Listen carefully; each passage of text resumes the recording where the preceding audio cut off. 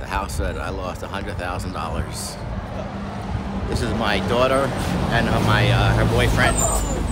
Okay, so come on, Alexis, come here. So I'm teaching them today how to work on a property, and this is something called a lockbox. Can you open the lockbox, guys? 5040 is the code Why would you?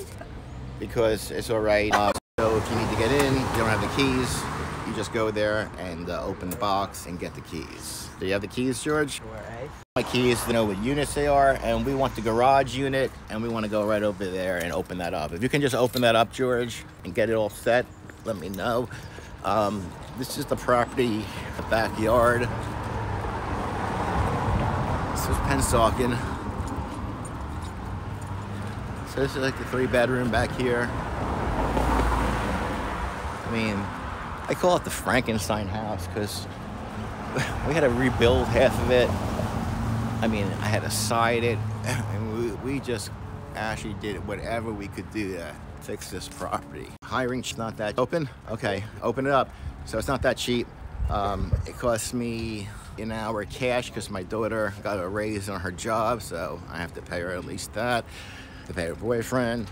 Uh, it also cost me breakfast at Dunkin' Donuts, 20 bucks, and lunch, 30 bucks, pizza, the one she likes. Uh, so am I really saving money by hiring the kids? Driveway of the front of the unit. This is a two bedroom right here. You know, I uh, actually for parking, I actually made this all rock, so we had more parking space. I needed space for like six cars, and uh, it's a pretty busy, here. I'll break down all the financials to you, and let's see what we have in the garage that we have to work on today. Okay, so down here we have light down here. This is the Park Avenue garage, I love it. and this is today. Say hi, Alexis. No. Okay, so again, some old doors, some old tiles, freaking back stuff from the two years ago with this property, and all the paint. Everything's new here. So that's it. We're gonna clean it up. I'll talk to you guys later. Okay, so a half an hour in, maybe 45 minutes. Okay, so about an hour into the day, a day in the life of a landlord.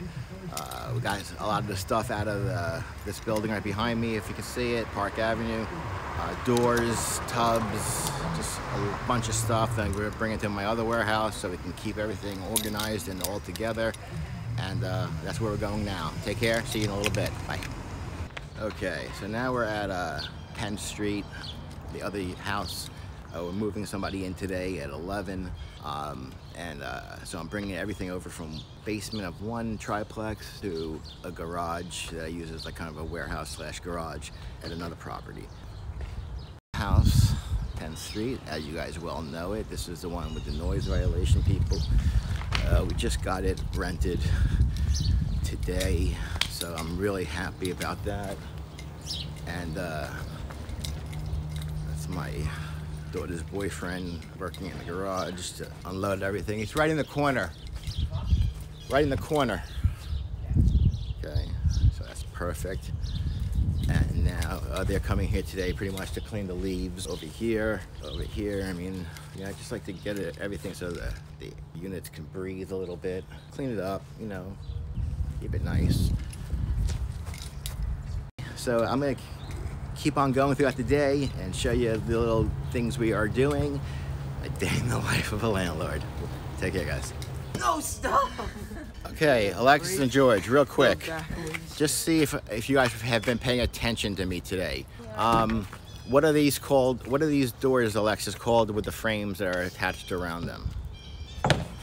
Pre-frame something. Pre-framed doors, good, pre-hung. Um, why do we keep lock boxes at the property, Alexis? So you have like keys to organize. Okay, excellent. Alexis, what are you going to be in this uh, in this real estate empire that we're we're going for? Like, what's your role? Boss. Okay, guys, take care. Okay, so we're going up to the second floor rental right now, and uh, I'm here with my daughter and her boyfriend George. First knock, George, and say, "Hello, landlord." Hello, landlord. Say it with you have, like you have some balls. Say it. Come on. Hello, landlord? Thank you. Okay. There's someone in there? Yeah. Hold on. I didn't know that. Hold on. Okay, so I'm back. Uh, my daughter and her boyfriend are fish, finishing up doing some smoke alarms in the property, and uh, I just did another property. yeah, ironically, it has the same uh, color as the other sh- property I showed you.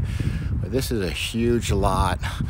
Uh, there used to be trees on this. I, it was crazy how we cleaned it up. We built the driveway. Now, big house. This actually was a house that a hoarder used to live in, and um, yeah, we cleaned it out. Definitely made it look nice. This house is getting, uh, I believe. Oh, that scared me. I think 1675 a month plus utilities. So yeah, so it's nice. You know, it has a wraparound porch. You know, uh, so again, I'm just here checking out the property, an outside look. You know, it is what it is. They keep it decent. The only thing I really have to do when it gets a little nicer out is probably uh, scrape the porch. Uh, you know, just make it look a little nicer. Okay, so and for 20 minutes, George has been trying to put up a smoke detector. Now, all you have to do is put up two screws, and that's it. But George, what is the problem? You try. You try to do it. I got What- You try to do it. Why are you guys having such an issue with a smoke detector? It's in the blood. Try to screw. Try to put Okay. a screw in this. Try to just screw one little screw in the thing. The landlords, guys. Okay, so the day in the life of a landlord is continuing. Um, I'm at the property right now. You know, we just got it rented. We uh, filled out a thing today. An applicant filled out, and we approved them, so they're moving in later today. I got my uh, daughter and her boyfriend cleaning up the leaves. Um, we really want to make sure the leaves are cleaned up behind the units, like the air conditioning units, um, because it, it uh, suffocates them and it, it can uh, damage the units. So again, using this great day to to rake some leaves and uh, real briefly, again, you know, making use of my uh, storage area here. Uh, we brought a lot of stuff over uh, from the other unit, the basement, and I'm trying to keep everything uh, manageable here. And we're loading it up slowly but surely, but uh, a lot of doors and different measurements and all that good stuff. Okay, guys, have a great day. The landlord. It's a great house, beautiful street. Um, since I'm here, eh, I can't get back here, but I'll show you the inside. But this is nice, you know. Actually, she needed more space, so I added. She actually split the shed with me, and I'm I'm able to keep it. But uh, oh, actually, I have to go in here anyway because um, well, later because some, there's some issue. But we have a lockbox on the property right over here. We keep it. We keep boxes on everything. Um, so this way we know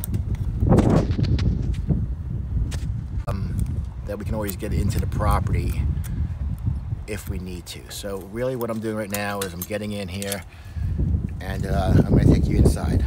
Okay. So this is inside her house. Does a really nice job. Keeps it really. You didn't ring the doorbell. I didn't know you were out there. How long were you waiting? Okay, so the day's finally coming to an end. Um, I'm at my favorite place, Home Depot. Uh, my kid, my my daughter worked with me today. She was home for college. Her boyfriend worked with me. It was nice. Got a lot done. Uh, still a lot to do. Uh, I just wanted to show you. This is the truck at the end of the day. Um, uh, always have a tarp in your car. You never know when you have to do some uh, work and uh, the, uh, the tenant's place. So anyway, it's been a long day. I hope you enjoyed uh, the day in the life of a landlord, uh, seeing what a typical day looks like. Um, enjoy it. Good night. Until tomorrow, guys. Take care. Lessons for landlords.